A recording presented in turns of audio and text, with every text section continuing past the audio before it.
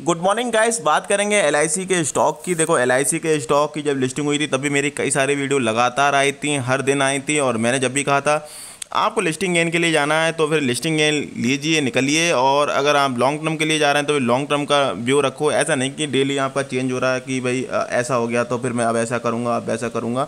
तो अपने जब गोल आप सही तरीके से डिसाइड नहीं करते हैं तो वहाँ पर आपको भाई फंसने के चांस रहते हैं हमेशा से। और मैं ये कई बार बता चुका हूँ जो भी आपकी स्ट्रेटजी हैं, जो भी आपकी, आपके तरीके हैं, उनको बिल्कुल सिंपल रखो, बिल्कुल क्लियर रखो तो बहुत सारी चीज़ें आपको मिलेंगी अब इस वीडियो में सीखने को एलआईसी के शेयर में क्या कर सकते हैं, क्या नहीं कर सकते हैं।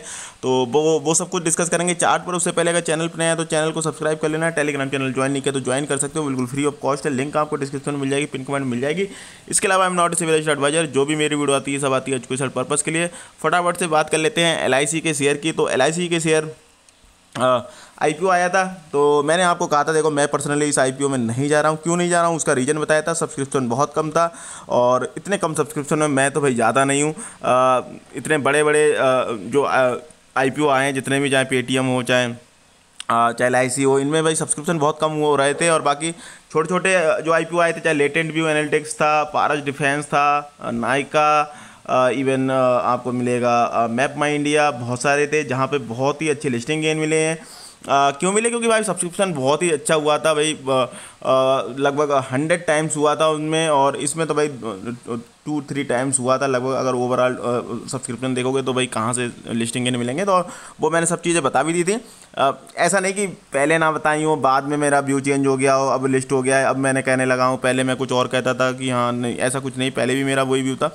और मैंने कहा था, भाई लॉन्ग टर्म का अगर व्यू है तो भाई फिर चार, पाँच साल, दस साल का है तो फिर ये रोज़ रोज़ का ये पाँच पाँच मिनट में प्राइस चेक करना या भाई ये ऐसे देखना कि अब थोड़ा ऊपर नीचे तो फिर ये ऐसा करना नहीं है। और पहले दिन ही मैंने वीडियो बना के बता दी थी, भाई, अब नौ सौ रुपये नौ सौ बीस के आसपास गया है तो रिटेल के पास ऐसे ही पड़ा था नौ सौ के आसपास और जो पॉलिसी वालों को आठ सौ नब्बे, आठ सौ एट, एटी नाइन ऐसी कुछ पड़ा होगा तो अच्छे खासे प्रॉफिट्स में थे, पाँच दस रुपये जो भी थे। ब्रेक इवन पॉइंट पर तो थे इवन तो वहाँ पे निकल सकते थे। और उसके बाद यहाँ पे एक इन्वर्टेड हैमर कैंडल बनी है, मारा बुजू भी बन गई रेड वाली। तो वहाँ पे गिरावट देखने को मिल रही है। यहाँ पे भी एक इन्वर्टेड हैमर कैंडल देखने को मिलेगी। तो लगातार आप देखोगे तो सेलर हावी हैं इस स्टॉक में और अभी के लिए आप वेट एंड वॉच कर सकते हैं। अब अब फंस गए हैं तो थोड़ा सा वेट एंड वॉच कर सकते हैं। आज मार्केट बुरी तरीके से तेज़ है, लेकिन फिर भी जो तेज़ी थी वो सब निकल गई एलआईसी की। और थोड़ी सी गिरावट देखने को मिल रही है। और नई अगर कोई अपॉर्चुनिटी देखो, मैंने आपको कहा था, मैं अगर नई, कोई न्यू अपॉर्चुनिटी आएगी तो ज़रूर डिस्कस करूँगा। तो अभी के लिए तो मैं कुछ भी नहीं। बिल्कुल वेट एंड वॉच है लिस्ट में लगा है वॉच लिस्ट में है। और जब मैं पर्सनली करूँगा तो ज़रूर आपको बताऊँगा, चाहे टेलीग्राम चैनल पर अपडेट कर दूँगा तो वो सब कुछ कर दूँगा। अभी के लिए मैं नहीं जा रहा हूँ।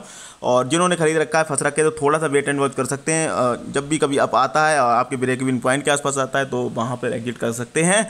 और यही है। बाकी लॉन्ग रन में भाई कोई ज़्यादा दिक्कत नहीं होनी चाहिए। कंपनी को कोई परफॉर्मेंस में दिक्कत नहीं है। कंपनी का कोई फंडामेंटल चेंज नहीं है। सब वही हैं, पुराने जो आपको पता है, कई बार कई लोगों ने बता दिए होंगे।